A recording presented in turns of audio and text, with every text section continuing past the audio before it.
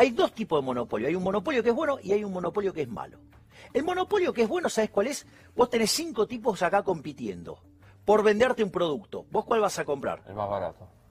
Y de mejor calidad. O sea, el, el que te vende la mejor calidad al mejor precio, le vas a comprar a ese. Con lo cual, todos van a comprarle a ese, ¿qué pasa con los otros? Se van. se- Quiebran. Ahora la pregunta es, vos comprándote a, a ese tipo solo, ¿estás mejor o estás peor? No, después voy a estar peor. No, bueno, entonces vuelven a entrar los otros. No, digo, voy a estar peor porque si desaparecen los otros cuatro, este va a fijar el precio que se le antoje. Entonces van a entrar los otros. Con lo cual no va a pasar. ¿Sí? La amenaza de entrada hace que se comporte como competitivo. ¿Sí? Entonces, digo, ese tipo, digamos, que se quedó con todo el mercado, lo hizo dándote un bien de mejor calidad, un mejor precio, es un benefactor social, es un héroe.